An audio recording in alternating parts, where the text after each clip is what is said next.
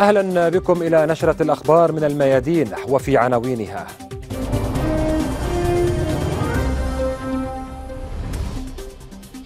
قمة جدة تؤكد مركزية القضية الفلسطينية والدعوة إلى حل الأزمة في السودان والترحيب بعودة سوريا وحث اللبنانيين على انتخاب رئيس للجمهورية.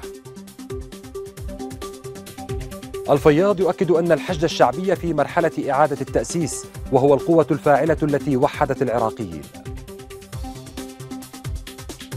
النخالة في تأبين شهداء معركة ثأر الأحرار. لن تكون تل أبيب ومدن الكيان بعيدة من مرمى صواريخنا ورصاص مقاتلينا.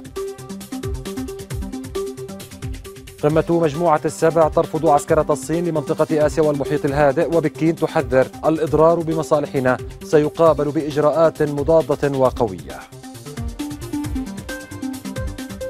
الرئيس الأمريكي يرجح سداد الدين الأمريكي برغم مفاوضات صعبة مع الجمهوريين. اختتمت القمة العربية الثانية وثلاثون في جدة حيث أكدت في بيانها الختامي مركزية القضية الفلسطينية للدول العربية لكونها أحد العوامل الرئيسية للاستقرار في المنطقة والتمسك بحل الدولتين وفقا لمبادرة السلام العربية ودعا البيان إلى ضرورة التهدئة وتغليب لغة الحوار في السودان كما رحب باستئناف مشاركة سوريا في اجتماعات الجامعة ومنظماتها وأجهزتها. آملا أن تسهم هذه المشاركة في دعم استقرارها والحفاظ على وحدة أراضيها. وأعلن دعمه أمن اليمن واستقراره والتوصل إلى حل سياسي للأزمة. الإعلان حث الأطراف اللبنانيين كافة على التحاور لانتخاب رئيس للجمهورية يرضي طموحات اللبنانيين وشدد على وقف التدخلات الخارجية في الشؤون الداخلية العربية ورفض تشكيل جماعات وميليشيات مسلحة.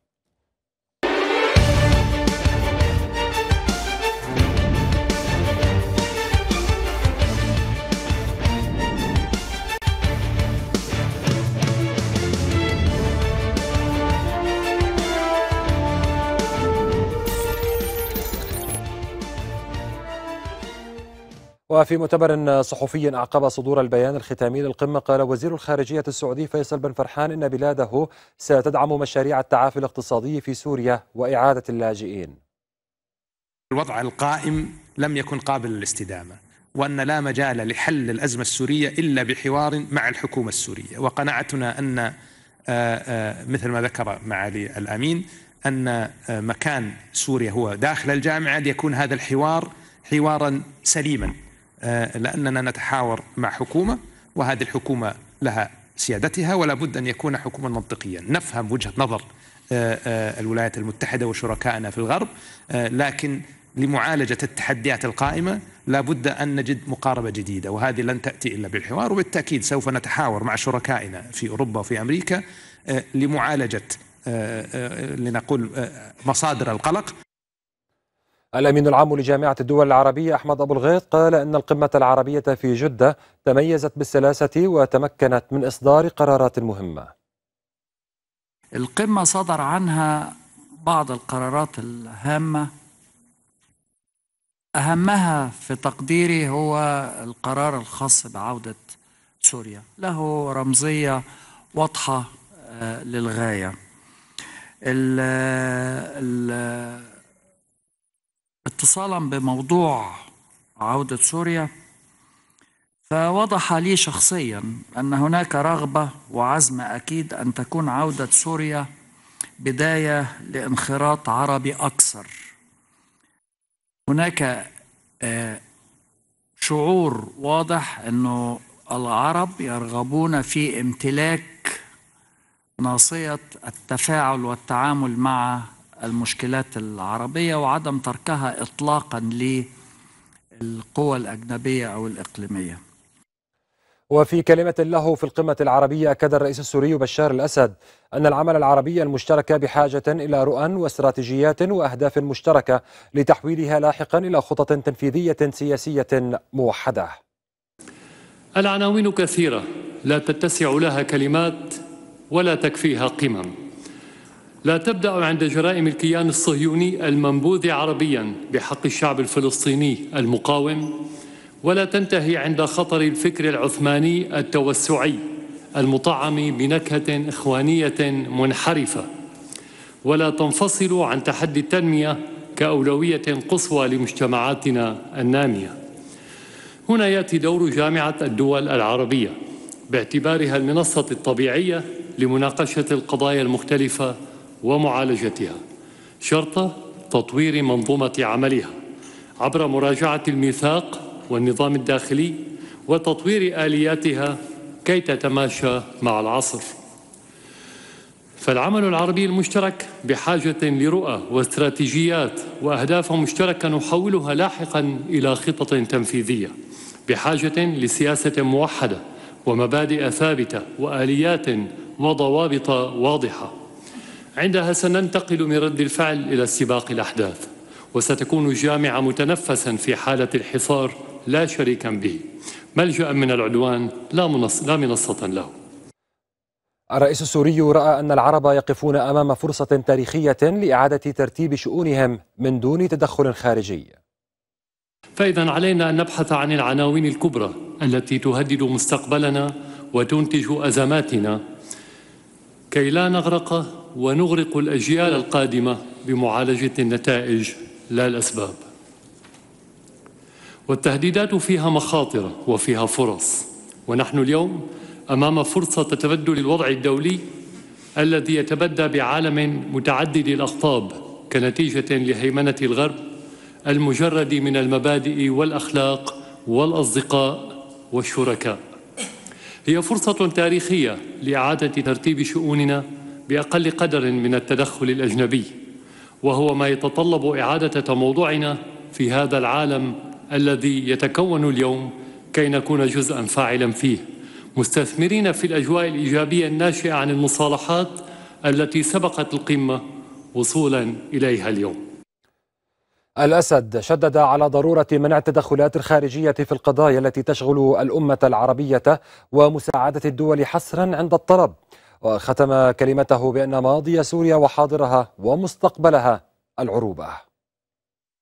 أما عن القضايا التي تشغلنا يوميا من ليبيا إلى سوريا مرورا باليمن والسودان وغيرها من القضايا الكثيرة في مناطق مختلفة فلا يمكننا معالجة الأمراض عبر معالجة الأعراض فكل تلك القضايا هي نتائج لعناوين أكبر لم تعالج سابقا أما الحديث في بعضها فهو بحاجة لمعالجة التصدعات التي نشأت على الساحة العربية خلال عقد مضى واستعادة الجامعة لدورها كمرمم للجروح لا كمعمق لها.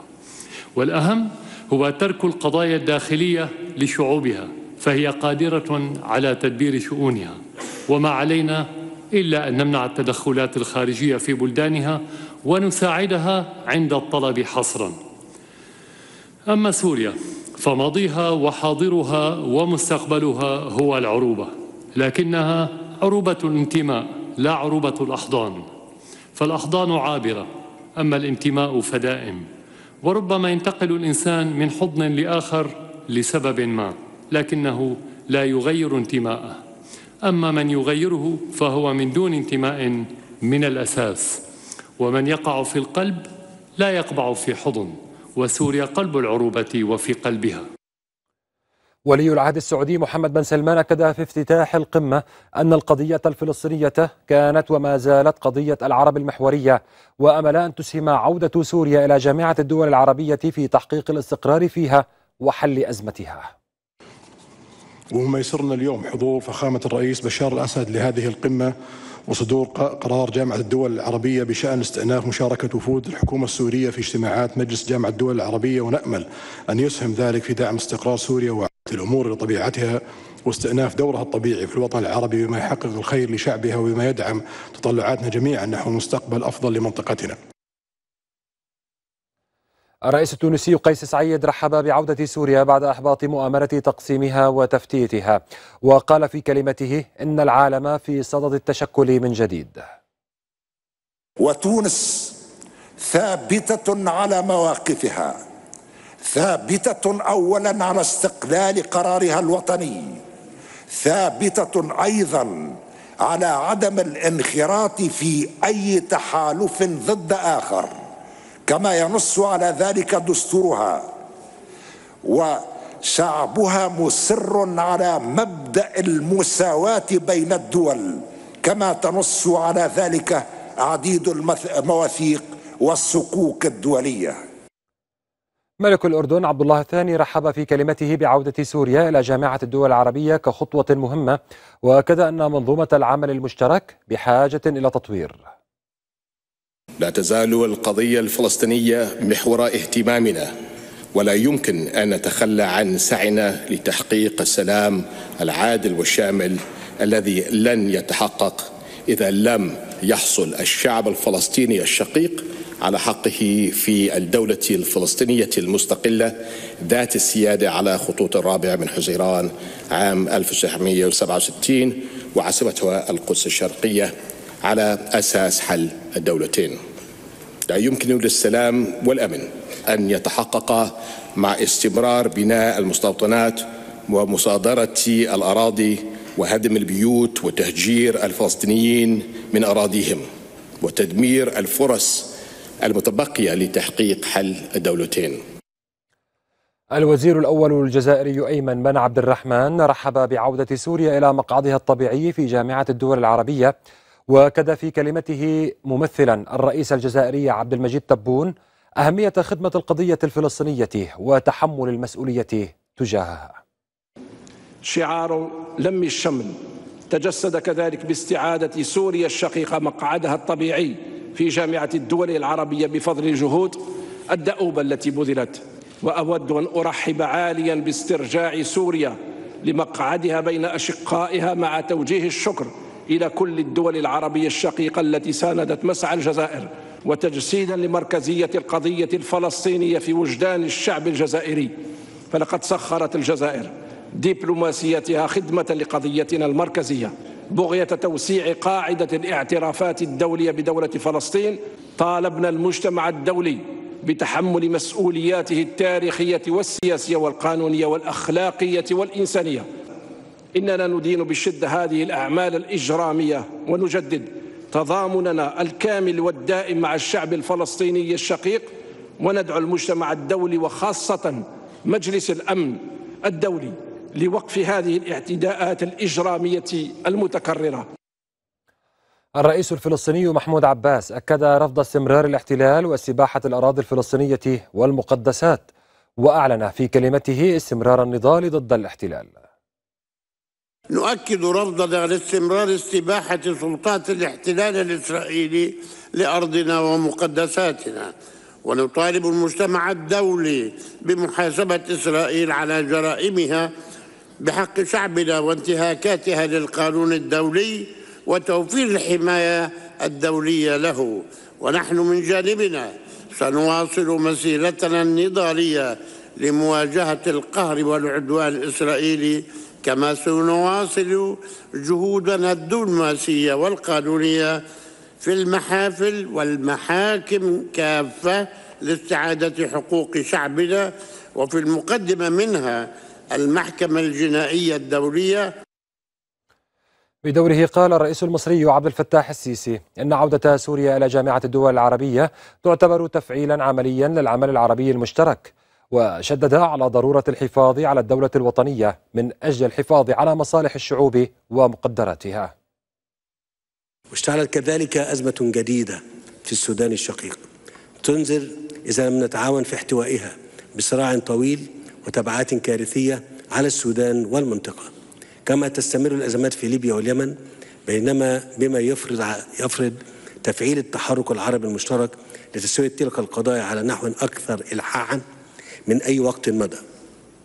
وفي نفس السياق فإن عودة سوريا إلى جامعة الدول العربية تعد بمثابة التفعيل العملي للدور العربي وبدء مسيرة عربية لتسوية الأزمة السورية استنادا إلى المرجعات الدولية للحل وقرار مجلس الأمن رقم 2254 وشدد دفع الله الحاج المبعوث السوداني الخاص لرئيس مجلس السيادة عبد الفتاح البرهان على أن بلاده ستتجاوز محنتها وعلى التعاون مع الوساطة السعودية الأمريكية كما أكد استعداد الحكومة السودانية للسلام.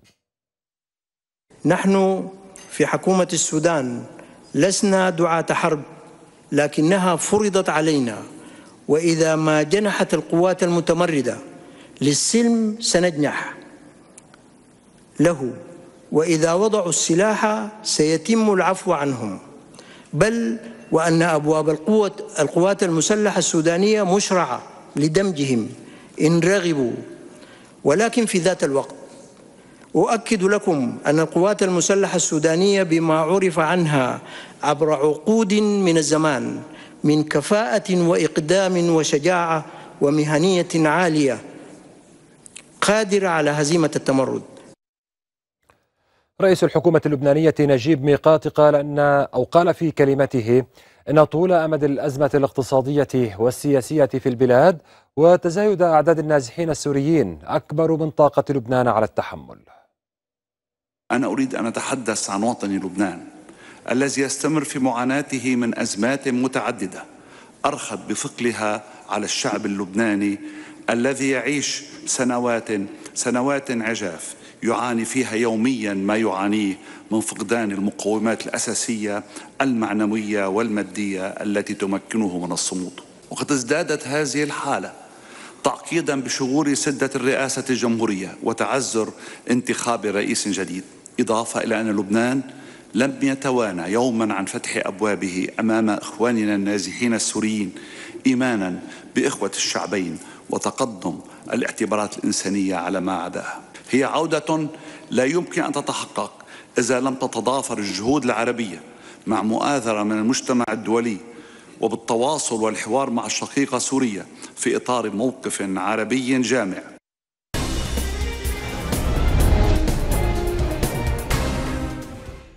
أكد رئيس هيئة الحشد الشعبي في العراق فالح الفياض أن الحشد الشعبي اليوم أصبح قوة عسكرية مهمة وأساسية وأضاف في كلمة له خلال المؤتمر الأمني في نينوى أن الحشد هو القوة الفاعلة التي وحدت العراقيين. أيها الأخوة نحن نعيش مرحلة إعادة التأسيس. أحب أن أؤرخ لهيئتنا المباركة. هذه الهيئة التي انطلقت بعد تلك الهزيمة النكراء وبعد تلك الأزمة الكبرى التي ألمت بالبلد وكادت أن تطيح به وبمستقبله. ولكن طبيعة هذا الشعب وقواه الفاعلة وعلى رأسها المرجعية الدينية استطاعت أن استطاعت أن تستنهض هذا الشعب وتذكره بعوامل قوته وعوامل صموده فما كانت هي إلا فتوى من أسطر لكنها حركت هذا المارد الكبير الذي تجلى في تلك الأيام الأيام المباركة. نعم كانت أيام دماء وأيام مأساة لكن أنا أجدها إنها رسمت معالم العراق الجديد. تتواصل الفعاليات الداعمة لفلسطين ومقاومتها وفي هذا الإطار ينظم أو ينظم في العاصمة اللبنانية بيروت ملتقى الحوار الوطني بمشاركة شخصيات من مختلف القارات للتأكيد على الدعم المستمر للقضية المركزية. معنا من بيروت مراسل الميادين عباس الصباغ. عباس يعني حيث تتواجد أنت في بيروت ماذا عن أجواء هذا المؤتمر؟ ماذا عن المواقف؟ وأرسلت العاملين في القضية الفلسطينية وهي اليوم بين أيديكم نعم تحية لك ولمشاهدي المدينة. بطبيعة الحال هذا المؤتمر الشعبي لفلسطيني الخارج يواصل أعماله هنا في العاصمة اللبنانية بيروت بمشاركة واسعة من ممثلي يعني الفصائل الفلسطينية كافة وممثلي الانتشار الفلسطيني عبر القارات. الخمس وبالتالي هناك الكلمات تؤكد على أولا على تأكيد الوحدة الفلسطينية وضرورة إصلاح منظمة التحرير الفلسطينية وإجراء الانتخابات بشكل دوري. وبطبيعة الحال الإفادة من التراكم التراكمات التي يعني أرستها المقاومة الفلسطينية في كل المواجهات التي جرت وتجري مع الجيش الاحتلال. معي يعني عضو المجلس التشريعي الفلسطيني الدكتور معاوية المصري؟ لو سمحت بأن تخبرنا أكثر عن أهمية هذا الملتقى وما المتوقع منه. هذا المؤتمر أنا سعيد جدا في هذا المؤتمر لأنه ركز على أن المنظمة التحرير الفلسطينية هي الممثل الشرعي والوحيد للشعب الفلسطيني لكن هذه المنظمة سربت من بعض أشخاص فعلينا على على الشعب الفلسطيني أن تقوم بإجراء انتخابات جديدة لتجد الشرعية لهذه المنظمة. أما آه، المنظمة في وضعها الحالي المنظمة أنشئت لتحرير فلسطين. الآن دور المنظمة سلب وأصبحت التنسيق مع الاحتلال الصهيوني ومع العدو الصهيوني. فهذا دور المؤتمر أن يعمل على أن يغير هذا الوضع وأن نؤكد على أن المنظمة هي الممثل الشرعي والوحيد للشعب الفلسطيني لكن ليس بقيادتها الحالية يجب أن يتم انتخابات للمجلس الوطني الشرعي لخلق قيادة جديدة تركز على أن منظمة التحرير الفلسطينية دورها هو تحرير فلسطين وليس آه، التنسيق مع الاحتلال كيف سينعكس صدى ثأر الأحرار في هذا المؤتمر؟ يعني نعلم هناك مواجهات كثيرة جرت مع جيش الاحتلال وآخرها كان ثأر الأحرار كيف سينعكس في هذا المؤتمر؟ أنا أعتقد أن هذا بداية ويجب التركيز عليه ويجب الاستمرار في العمل لإجراء انتخابات للمجلس الوطني الفلسطيني لانتخاب أعضاء جدد في منظمة التحرير للمجلس الوطني وانتخاب آه، قيادة جديدة بديلة لهذه القيادة التي أصبحت لها دور مختلف عن الدور الذي أنشئت المنظمه من أجله. شكرا لك سيد معاوية المصري عضو مجلس التشريع الفلسطيني، بطبيعة الحال يعني التركيز على وحدة آه، الوحدة الفلسطينية وإصلاح منظمة التحرير يعني هي من العناوين الرئيسية التي ترسم الاستراتيجية استراتيجية الثوابت الفلسطينية وتأكيد بأن أهداف منظمة التحرير هو التحرير والكفاح المسلح وبالتالي هناك انتقادات لدور هذه المنظمة أو بعض فصائلها في هذه الفترة، نعم. شكرا لك على هذه التفاصيل مراسل الميادين من بيروت عباس الصباغ. إلى فلسطين المحتلة حيث توعدت حركة الجهاد تل أبيب بدفع الثمن إذا نكثت بأي من بنود قرار وقف إطلاق النار الذي عقب معركة ثأر الأحرار. أكرم دلول والتفاصيل. السادة الكرام! في غزة. تفويض شعبي جديد للمقاومة وعلى عكس ما أراد الاحتلال. هذا ما تؤكده صور الحشود التي شاركت في تأبين شهداء معركة ثأر الأحرار. هنا لا صوت يعلو فوق صوت المقاومة التي خرجت لتوها منتصرة في معركة كبيرة ثبتت فيها معادلات الردع مع إسرائيل. خرج لهم مقاتلون ليعيدوا ترتيب المعادلات مرة أخرى. أيها الإخوة والأخوات إن معاركنا تثبت مرة تلو الأخرى أن بإمكان أمتنا أن تنتصر على المشروع الصهيوني الذي قهرها وكان سببا أساسيا في تبعيتها وضعفها. توهم الاحتلال إذن أنه باغتياله قادة السرايا سيوقف خيار الجهاد الإسلامي. لكن رسالة المقاومة الموحدة في الميدان ومعها هذه الجماهير بددت كل آماله. نحذر العدو من أي عملية اغتيال أو حماقة. فنحن عند وعدنا وعهدنا بالرد بكل قوة في عمق العدو وبشكل موحد وبلا أي تردد. مستمرون في الإعداد مستمرون في البذل. بذل الجهد بالأنفس وسنوات وشباب العمر والجراحات وكل ما تحتاج هذه القضية. كل الجماهير الوفية التي جاءت هي لتؤكد على منهجية المقاومة وعلى صوابية خيار جهاد الإسلامي وسرايا القدس في خوض معركة التحرير معها مع الغرفة المشتركة كتفا بكتف ويدا بيد. ذو شهداء المعركة أكدوا مضيهم على نهج أبنائهم مشددين على استعدادهم لتقديم المزيد.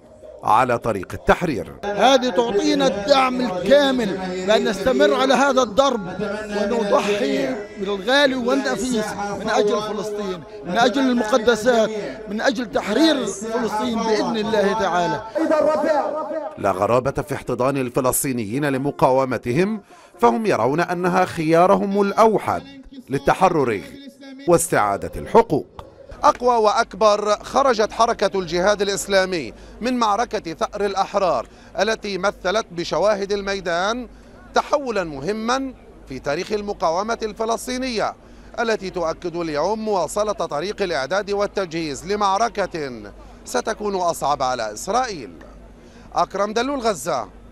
الميادين. أعلنت المفوضية السامية للأمم المتحدة لشؤون اللاجئين أن أكثر من مليون شخص نزحوا حتى الآن بسبب القطار الدائري في السودان من بينهم ربع مليون لاجئ. المفوضية أشارت إلى زيادة وتيرة تدفق اللاجئين في الأسابيع القليلة الماضية إلى دول الجوار وأوضحت أن هناك أكثر من 800 ألف نازح في داخل السودان ونحو 250 ألفا فروا خارج البلاد.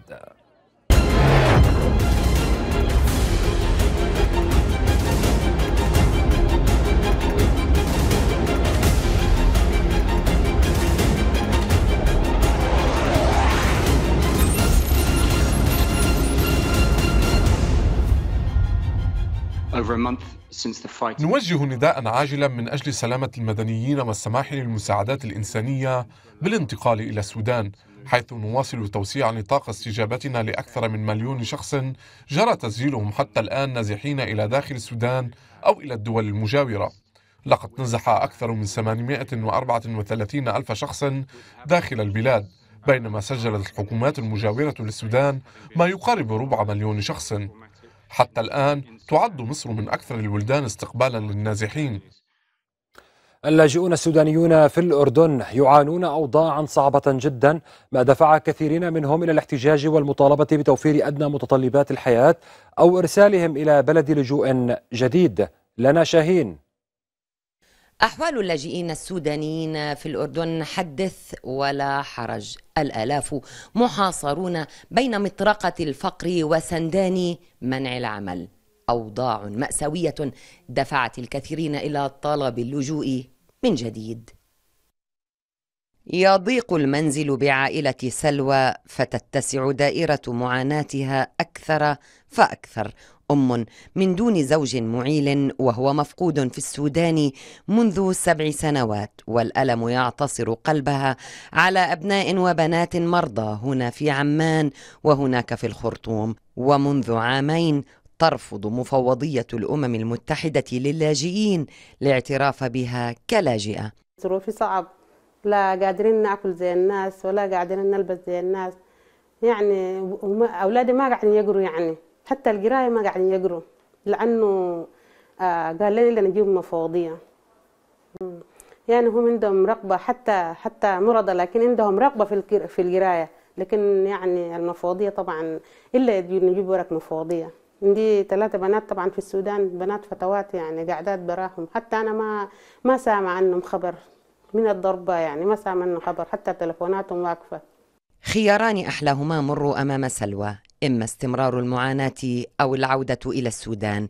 حالها كحال مئات اللاجئين الذين طافح كيلهم فخرجوا محتجين أمام مقر المفوضية التي رفضت التعقيب للميادين حول القضية. مطالب بالجملة في جعبتهم بعد أن اكتووا بنيران اللجوء. المفوضية تقدم مساعدات سنوية. نسبة ضئيلة من اللاجئين السودانيين لديهم هذه المساعدات التي لا تصد رمقهم من الإعاشة اليومية. ناهيك عن إيجار السكن ناهيك عن خدمات الكهرباء وناهيك عن الوضع الاقتصادي المتزايد يوما بعد يوم. الآن يعاني اللاجئ معاناة ما بعدها معاناة. أضف إلى ذلك ليس للملاجئ السوداني تصريح بالعمل. نحو ستة آلاف لاجئ سوداني يعيشون في الأردن وفق بيانات المفوضية التي تؤكد أن مطالبة عدد منهم بإرساله إلى بلد آخر محدودة للغاية ولا تتجاوز نسبتها واحدا في المئة. لانا شاهين عمان آه الميادين فاصل قصير ونعود.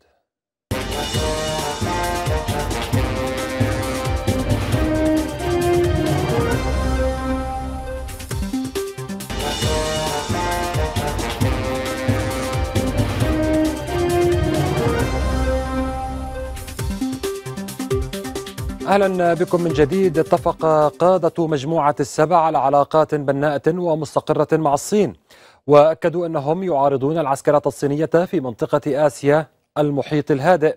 ودعوا بكين إلى الضغط على روسيا لتوقف عدوانها على أوكرانيا كما اتفقوا على القيام بمبادرة جديدة لمواجهة الإكراه الاقتصادي.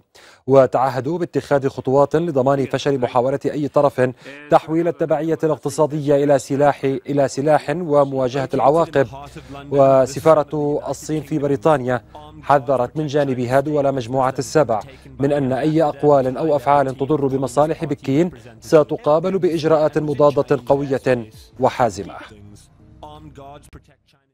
تعهدت رئيسة تايوان تساي إنغوين بالحفاظ على الوضع الراهن للسلام والاستقرار عبر مضيق تايوان وسط توترات شديدة مع الصين. وقالت في خطاب ألقته في المكتب الرئاسي في تايبي لمناسبة الذكرى السابعة لتوليها الحكم إن تايوان لن تستفز ولن تخضع للضغط الصيني وأكدت أن الحرب ليست خيارا مشيرة إلى أنه لا يمكن لأي من الجانبين تغيير الوضع الراهن من جانب واحد بوسائل غير سليمة. لافتة إلى أن الحفاظ على الوضع الراهن للسلام والاستقرار هو إجماع من العالم وتايوان. ومن المتوقع أن يعلن الرئيس الأمريكي جو بايدن عن حزمة مساعدات عسكرية جديدة لأوكرانيا بقيمة 375 مليون دولار وفق ما نقلت وكالة رويترز. وأبدى بايدن استعدادا للسماح لدول أخرى بإمداد أوكرانيا بمقاتلات من نوع F-16 أمريكية الصنع. هذا وأعلن مستشار الأمن القومي الأمريكي جاك سوليفان أن بايدن سيناقش الملف الأوكراني مع الرئيسين البرازيلي والهندي اللذين يحضران قمة هيروشيما.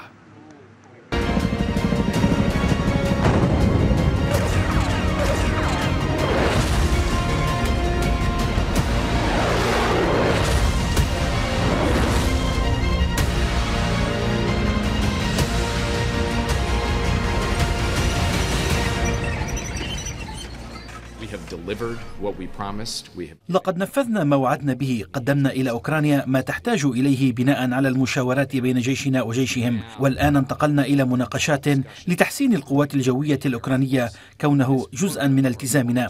لذا مع بدء التدريب في الأشهر المقبلة سنعمل مع حلفائنا لتحديد موعد تسليم الطائرات ومن سيقوم بتسليمها وكم عددها. قال الرئيس الروسي فلاديمير بوتين إن الغرب يحاول نثر بذور الشقاق بين المجموعات العرقية والوطنية المختلفة في روسيا وتفتيت البلاد إلى عشرات الدول. وأضاف إنه كلما زادت عقوبات الغرب على بلاده زاد مستوى الترابط داخل المجتمع الروسي على حد تعبيره. عمليا الترسانة بأكملها موجهة ضدنا اقتصاديا عسكريا سياسيا وإعلاميا. جرى الكشف عن أقوى دعاية مناهضة لروسيا. إن الاعتداءات على تاريخنا وثقافتنا وقيمنا الروحية مستمرة إضافة إلى محاولات دق إسفين في الأخوة والوحدة بين شعوب بلادنا. هم يقولون إنه يجب تقسيم روسيا إلى عشرات الدول الصغيرة المختلفة. رجح الرئيس الأمريكي جو بايدن أن بلاده ستتجنب التخلف عن سداد الديون.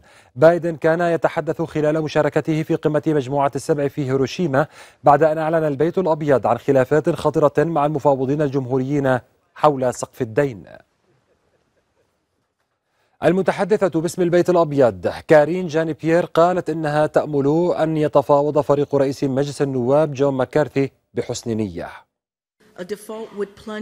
التخلف عن السداد سيغرق اقتصادنا في الركود. يرى الاقتصاديون أن ملايين الأمريكيين قد يفقدون وظائفهم ويمكن للعائلات التي تعمل بجد أن تخسر مدخرات تقاعدها. لذلك نأمل أن يتفاوض فريق المتحدث مكارثي بحسن نية. الارتقاء بالعلاقات الاقتصادية إلى مستوى العلاقات السياسية المميزة يشكل العنوان الرئيسي للمرحلة الحالية للعلاقات بين كوبا وروسيا وهذا ما يسعى إليه البلدان من خلال المنتدى الاقتصادي والتجاري الكوبي الروسي الذي انعقد في العاصمة الكوبية هافانا. عروة محمود والتفاصيل.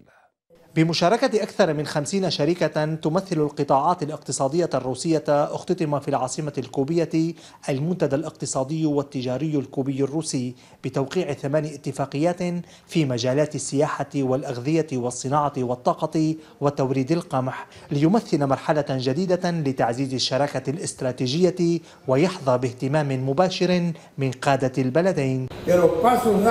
نأمل أن تمثل الخطوات التي اتخذناها في هذا المنتدى بداية لمرحلة جديدة من الشراكة الاستراتيجية من أجل تعزيز العلاقة الاقتصادية بين البلدين. جرى اتخاذ كل الخطوات لتهيئة العمل المشترك وهذا يعزز علاقات التضامن والصداقة بين بلدينا.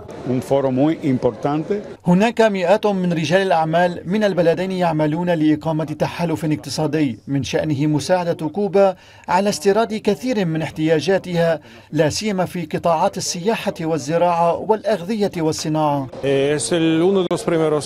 لدينا صيغة جديدة للعمل الاقتصادي والصناعي والمتعدد القطاعات الذي يعود بالفائدة على كلا البلدين. نتقدم على نحو كبير وننتظر النتائج العملية. ونحن نتضامن مع كوبا في مواجهة الحصار الأمريكي.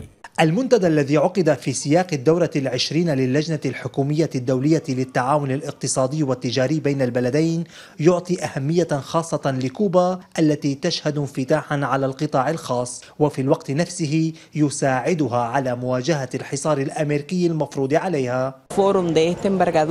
المنتدى يساعد على تعميق العلاقات وجعلها أكثر استراتيجية وله أهمية خاصة بالنسبة إلى كوبا للبحث فيما تحتاج إليه البلاد والصعوبات التي تعانيها بسبب الحصار الأمريكي وتشديد إجراءاته والتي تؤثر في الشعب على نحو مباشر.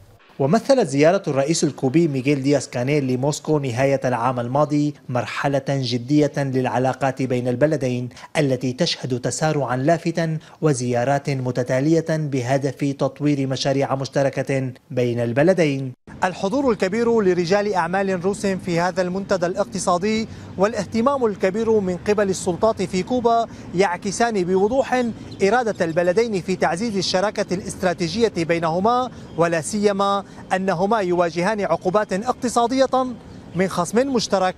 عروة محمود هافانا الميادين. انتقد الرئيس التركي رجب طيب أردوغان منافسه كليشجار أوغلو لقوله إنه سيفعل ما يريده الغرب. وعلق أردوغان قائلا باي باي كمال. نحن سنفعل ما تريده تركيا وسنتحرك وفقا لمصالحها لا ما يريده الغرب. كذلك توجه إلى الناخبين محذرا من التراخي بعد نتائج الجولة الأولى وأكد ضرورة العمل ليلا ونهارا حتى ليلة الانتخابات.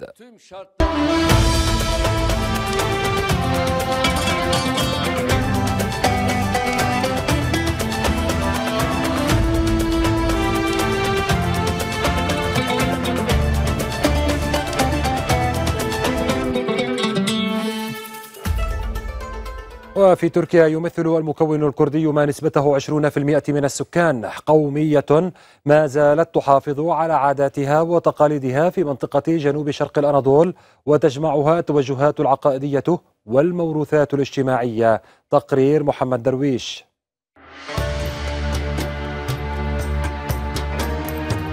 هنا ديار بكر مركز الكرد في تركيا وبوصلتهم السياسية والثقافية. مكون يضم ملايين الأفراد الذين يشغلون مناطق واسعة في جنوب شرق تركيا وتجمعهم التوجهات الفكرية والعقائدية ويرتبطون بعلاقات صلبة مع أقرانهم في سوريا والعراق وإيران. نحن الشعب الكردي واجهنا كثيرا من الصعوبات في تاريخنا وبالرغم من كل شيء حافظنا على هويتنا ونتواصل مع جميع الكرد في الدول المجاورة فهناك مصاهرة بيننا ولغتنا مشتركة. عادات الكرد وتقاليدهم حاضرة بقوة في المشهد الكردي في تركيا في الأفراح والأتراح والعلاقات الأسرية وحتى في التمسك بلباسهم التقليدي. شال وشابك هما اللباس التقليدي للرجال من الكرد، أما لباس الكرديات فيسمى كراس وخفتان. الكرد متمسكون بزيهم التقليدي فهم يرون أنه محفز للشعور القومي والحفاظ على هويتهم الخاصة ولكن في السنوات الأخيرة بدأ الشباب الكردي يتجه إلى اللباس العصري وبات اللباس التقليدي مقتصرا على المناسبات القومية وعيد النوروز. هذه الملابس نقوم بخياطتها وتصميمها من أجل المناسبات الخاصة كالأعراس والحفلات القومية. هذه الملابس تمثل هويتنا نشعر بالفخر والفرح عند ارتدائها. نشتري القماش ونقوم بخياطتها هنا في المشغل وحياكتها تحتاج إلى مهارة عالية جداً. لا تنفصل تقاليد الكرد عن صورة المرأة الكردية في تركيا التي تمثل دعامة أساسية في أسرتها وتحتل مكانة مهمة في بيئتها. كنساء كرديات نبذل قصارى جهدنا من أجل أنفسنا. أنا أدرس من أجل أن أصل إلى هدفي وهو دراسة طب الأسنان. والنساء في مجتمعنا غالبيتهن متعلمات. يخطو الكرد في تركيا باتجاه مسافة أمان يسعون فيها للمحافظة على موروثاتهم. في منطقة ما زالت تعيش ندوبا حفرتها عقود من الصراع على الهوية الثقافية والاجتماعية. من ديار بكر وماردين وسيرت وموش وغيرها من المحافظات الكردية في تركيا. يعيش الكرد واقعا اجتماعيا متماسكا وسط تحديات سياسية صعبة عمرها من عمر الجمهورية التركية. محمد درويش ديار بكر جنوب شرق تركيا الميادين. برغم انحسار مخاطره المباشرة ستبقى تأثيرات كوفيد 19 على البشرية ولا سيما على الدول النامية لسنوات وعقود طويلة. وخصوصا مع التبعات التي أدت إلى تراجع قدرة الأنظمة الصحية في هذه الدول مع تعثر خطط التنمية الصحية المستدامة. من جنيف موسى عاصي. لن تنتهي تأثيرات كوفيد-19 على الصحة العالمية مع إعلان منظمة الصحة إزالة الوباء من لائحة الأوبئة الخطرة. بل ستستمر هذه التأثيرات لسنوات وربما لعقود. من التأثيرات المباشرة بحسب التقرير السنوي لمنظمة الصحة العالمية تقصير حياة الملايين من الناس خلال انتشار الوباء. ومن التأثيرات البعيدة المدى تعثر خطط التنمية المستدامة المتعلقة بالصحة في الدول ذات الدخل المحدود. العالم خرج عن المسار الصحيح للوصول إلى أهداف التنمية المستدامة المتمثلة في التغطية الصحية الشاملة بحلول عام 2030 وما لم نسرع وتيرة العودة إلى هذا المسار فإننا سنفقد عددا لا يحصى من الأرواح التي يمكن إنقاذها. انشغال العالم بوباء كورونا كان له تأثير سلبي كبير على متابعة الأوبئة الأخرى والأمراض غير المعدية التي لا تزال مسؤولة عما يقرب من نصف جميع الوفيات في البلدان المنخفضة الدخل. وضع هذا الوباء كثيرا من المؤشرات المتعلقة بالصحة بعيدا من المسار الصحيح وساهم في عدم المساواة بالحصول على رعاية صحية عالية الجودة. وجرى عكس الاتجاهات المحسنة في أمراض كالملاريا والسل.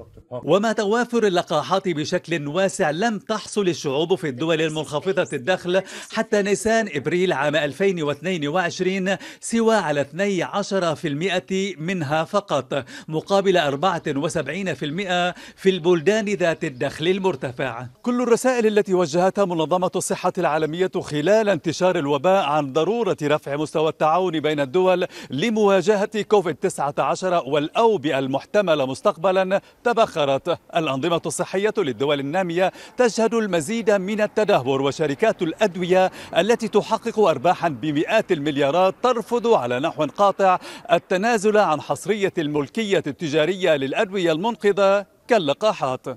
موسى عاصم أمام مقر منظمة الصحة العالمية في جنيف الميادين. المزيد من الأخبار والتقارير مشاهدينا الكرام تجدونها على صفحات الميادين نت باللغات العربية والإنجليزية. والإسبانية. دمتم في حفظ الله ورعايته إلى اللقاء.